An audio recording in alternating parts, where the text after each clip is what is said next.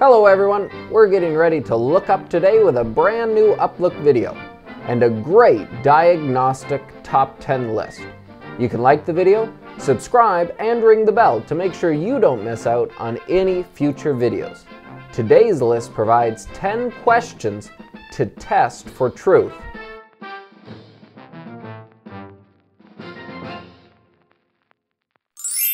It seems the old devil knows his time is short and is reintroducing every heresy the church has ever faced. People used to get all their teaching at the local church, but now it's the internet with a whole smorgasbord of who knows what. How do we discern the pure word from the poison? Let's take a look at God's lie detector. Very important top 10 here. Uh, let's go ahead and get started with number one. Does it confuse the persons of the Godhead? Right, what we think about God, Tozer said, is the most important thing about us. And let's remember that this war started by an attack on God Himself. I will be as God, said the devil. Now, there are many, many verses that teach the three in one God. For example, in 1 Peter, he begins his letter by saying, Elect according to the foreknowledge of God the Father, in sanctification of the Spirit, for obedience and sprinkling of the blood of Jesus Christ. And Jude finishes his little book by saying, But you, beloved, building yourselves up on your most holy faith, praying in the Holy Spirit, keep yourselves in the love of God, looking for the mercy of our Lord Jesus Christ unto eternal life. And so when people say that the Trinity isn't taught in the Bible, they're not reading the same Bible. We find this many places. And so it's like time, space, and matter. We recognize that all of them are part of our material world, and yet time is three in one, future, present, past. We wouldn't confuse the future and the present and the past, even though they're all linked together. They're all time. But we're not saying that the future is the past or the past is the present, just like we're not saying the Father is the Son or the Son is the Spirit. But the future is time, the past is time, the present is time. The Father is God, the Son is God, the Spirit is God. And if we can keep this clear and understand that the idea of the Trinity is essential for our understanding of a God of love, people who have only an undivided God, a God who is not, as the Bible teaches, this beautiful picture of the three in one God, if they don't believe that, then the love of God, when there was no creation, would have to be self love. But we understand that the Father loved the Son in the bond of the Spirit, and they were in perfect harmony with one another. This is a very difficult doctrine. Great is the mystery of godliness, and yet God has revealed himself in this way, and he tells us that the physical creation has his fingerprint on it. And when we look at time, space, and matter and realize that this is three in one, there's only one universe, and yet the universe reveals itself in time, space, and matter. You can't have two out of three. Everything has to exist in time, be made of matter, and occupy space. And so God has given us this object lesson in the physical world to understand something of what God is like. And if we confuse these things, we can end up with heresy. And if we ever hear not just this, but any of these of these 10, someone teaching something that should be a little red flag, is why this list is so helpful. Exactly. Number two, does it demean the person of Christ? Right. Any doctrine that lowers my appreciation for Christ has to be wrong. The scripture says that in all things he must have the preeminence. He's the altogether lovely one. And so anything that diminishes my, my appreciation for Christ, it's going to be wrong most of the false cults either attack the person of Christ, deny his deity, for example, or they attack the work of Christ relative to salvation at the cross. So we need to avoid that like the plague. What think ye of Christ? said Martin Luther. What think ye of Christ is the test to try both your state and your scheme. You cannot think right in the rest if you do not think rightly of him. Number three, does it unduly emphasize the Holy Spirit? We have to understand who the Holy Spirit is and what he does, but it's like looking at a telescope to understand how it works. At a certain point, we want to look through the telescope. John 16, verses 13 and 14 are important in this regard. The Lord Jesus in the upper room promised the coming of the Holy Spirit, but he said, He will not speak of his own authority, but whatever he hears, he will speak. He will tell you things to come. He will glorify me, for he will take what is mine and declare it to you. So when the Lord Jesus was here, he came to reveal the Father. He veiled his own glory. When the Spirit came, he came to reveal the Son. And so any movement that is constantly referring to being slain in the Spirit and laughing in the Spirit and the filling and the baptism, the symbols are all the dove and the oil and so on, we need to be a little suspect and say, wait a minute, are you over exaggerating something and looking at the telescope instead of through it? The purpose of the ministry of the Holy Spirit, important though he is, is to reveal Christ to us. So be careful of any movement that turns upside down the order of the Holy Trinity. The Holy Spirit, the third person, is here to show us Christ. And then number four, does it falsely elevate humanity? Any movement, any teaching that elevates the man apart from the work of Christ or apart from the ministry of the Holy Spirit is wrong. I know that in me, that is in my flesh, dwells no good thing.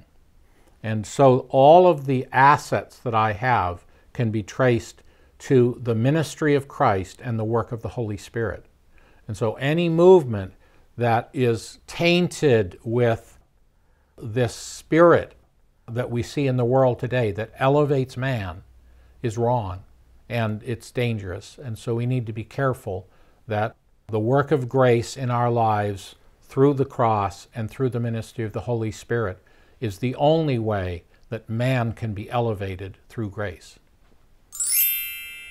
Number five, does this teaching depend on an obscure verse or a forced interpretation? So if some verse, some obscure verse, is being used to advance a certain agenda, we need to be careful. If one verse contradicts all the other clear statements on a particular idea, then obviously we always go from the clear to the obscure, not the other way around. People say, well, you know, the Bible can say anything. Well, it can if you take it out of context, if you don't use the rules of interpretation. So the Bible says there is no God, but it happens to be quoting a fool at the time. So if we don't understand verses in context, we can get into trouble. And just a little hint when you're talking to someone from a cult, very often they will read a verse. And one of the best things you can do, even if you don't quite know the answer to that, is say, Could we just read the whole chapter? And what do you know? It's not too long until you see that the Spirit of God has provided for us in that context an answer to the problem. Now, we have a classic illustration. There are those who teach that at the celebration of the Lord's Supper, the body and blood of the Lord become real in the bread and wine. And they base this on the story when the Lord Jesus said, Unless you eat my flesh and drink my blood, you have no part with me. Well, the great thing about it is that they didn't understand it in that day either. And they were confused. Even the disciples didn't get it. And so Jesus addressed the issue and explained to them, first of all, what if you see the Son of Man go up where he was before? Oh, in other words, I plan on taking my body with me when I go to heaven. I'm not going to leave it here for you to chew on. And secondly, he said, the flesh profits nothing. It's the spirit that gives life. I'm not talking about physical body. I'm talking about a spiritual reality. So, right in the context, the answer is given. Just read a few verses, and before you know it, there's the answer right there. Those cultists in John 1 who say that Jesus was a God, but not the God. Well, just read the rest of the paragraph.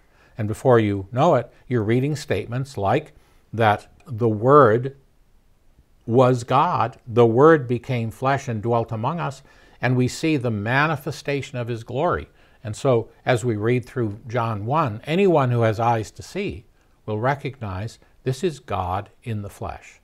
So, I think that's a great thing to remember. It's verses out of context that cause trouble. And that's why Christians need to be careful that they don't use verses out of context, because it sets a bad precedent for those who have been led astray. And for our viewers at home, we do have another top 10 list for Bible interpretation and helps there. Very good. Uh, number six, does it excuse or encourage wrong behavior? The Apostle Paul, quite often, when he's referring to doctrine, which simply means teaching, he uses a word healthful, like not just healthy in itself, but producing health in us. And you should be able to tell a man's doctrine by his practice. So, for example, he that has this hope in him purifies himself, even as he's pure. So, if a doctrine makes me materialistic, if it makes me selfish, I know it's, it's wrong. I've got it wrong.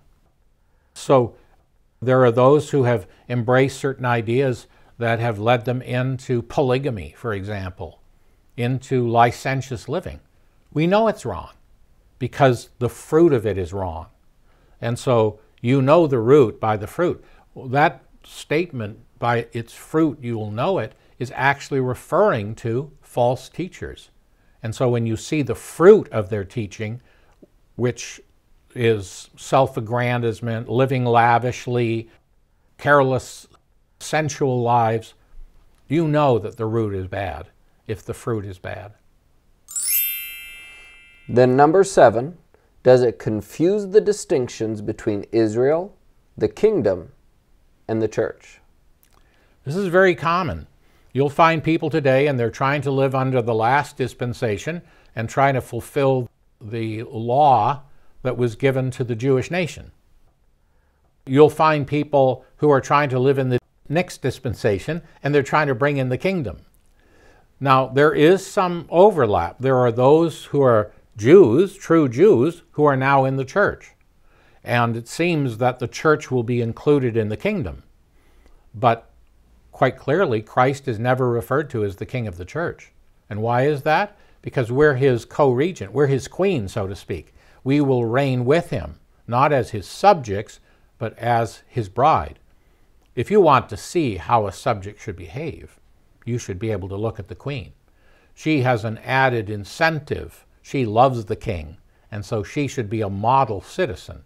Even though she's not technically under the law of the king, it's a love relationship still. So when we read through the Bible, we need to make those distinctions. A classic example is these 11 men that Jesus was teaching. Sometimes they represent the embryonic church, as in John 13 and 14 and 15 and 16, because they are the apostles, the foundation stones for the church. But they had a dual role. They're also going to sit in 12 thrones over the 12 tribes of Israel. And so sometimes they act as representative Israel. When in Matthew 24, the Lord gives teaching to warn the Jewish people how to flee in the midst of the time of Jacob's trouble, make sure you don't flee on the Sabbath day. There, he's referring to them in their role with the nation of Israel. So we can't jump to conclusions. We've got to look at the context again, but we have to keep these distinctions or we really muddy the waters.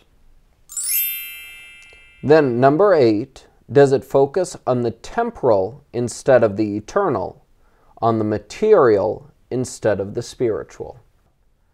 By the way, just on that last point, I was going to mention that there's a book by William MacDonald published by Gospel Folio Press, and that's a very helpful book distinguishing these things that have to be, we have to make a difference or we get into trouble? Does it focus on the temporal instead of the eternal, on the material instead of the spiritual?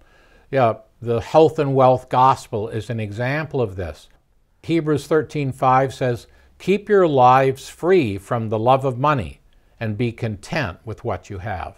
Now that flies right in the face of that whole idea.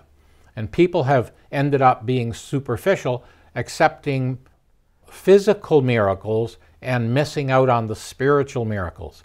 The Lord Jesus said, Greater things than these will you do. And he's referring not only to the number of miracles that would occur, but to the spiritual nature of them. Jesus gave physical bread to people so they could physically be sustained, but we have the opportunity of giving out spiritual food so that people can actually come back to life. So we don't want to miss the glorious blessings. Do we believe in miracles today? Absolutely, more than ever.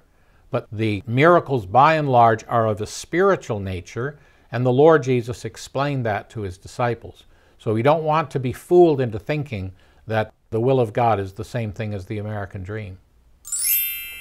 Then, number nine, is it a thinly disguised version of a contemporary secular trend? If we're a little bit familiar with how the world is thinking, don't be surprised if those ideas show up in the church in Christian dress. So, existentialism is a movement that basically says experience is the thing, experience is the goal. And there are influences in the church that emphasize not so much the quality as the quantity of the experience. And we need to be careful that we don't be fooled into thinking that the experience is the thing. And then, secondly, postmodernism this idea that there is no absolute truth, and this has also crept into the church. And so there's a whole group of people that have embraced this idea post truth generation. And if ever you're on a slippery slope, that's it. So the wisdom of the world is foolishness in God's sight. And we want to stay away from that. We need to be aware of these movements. The whole feminist movement, while there were some good aspects to it, it has undermined the value of motherhood and the role of women and has tried to make women competitors with men instead of complements. So watch out for these philosophies in the world that have snuck into the church. And finally, number 10, is it believed by those whom I know to be walking with the Lord? So this is the final test, and it's a good one. Never believe people just because they're nice or they seem to be spiritual. Paul commended the Bereans because they went home and checked up on him. He wasn't afraid to let them put it to the test. Test everything by the book. And Paul warns and says that false prophets, false apostles, can transform themselves into apostles of Christ, and no wonder, for he says Satan himself transforms himself into an angel of light. So don't be fooled. With fair sounding speeches, they waylay the simple, and they make poor widows' houses, and they uses fair sounding speeches to gather disciples after themselves. Paul said, Men of your own selves speaking perverse things.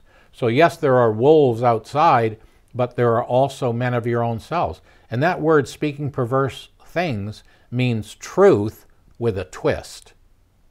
And so there is an element of truth to it, and that's what makes it so dangerous.